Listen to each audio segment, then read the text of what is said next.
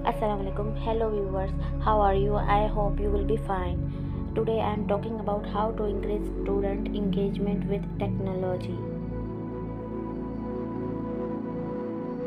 Student engagement can be difficult. Students face constant distraction and the sad truth in that attention options are getting shorter as education a high level of engagement should be a priority. The more students are engaged the more they learn and the more they achieved.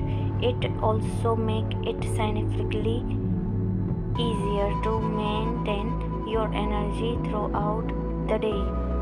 Today students grew up in the digital age. We should be taking advantage of technology rather than viewing it as a distraction.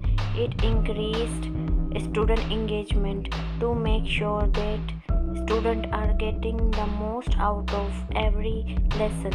The content should be present in a way that the work has a clear meaning and immediate value to your student. Technology in the classroom allow students to gain a deeper understanding of topic that interest them, collaborate with each other, and direct their learning where create a list of some of the interesting way that you can incorporate technology into your classroom to increase student engagement.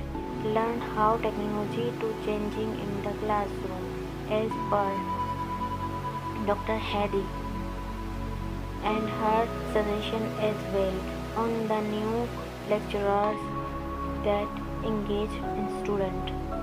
Here are 8 ways to increase student engagement.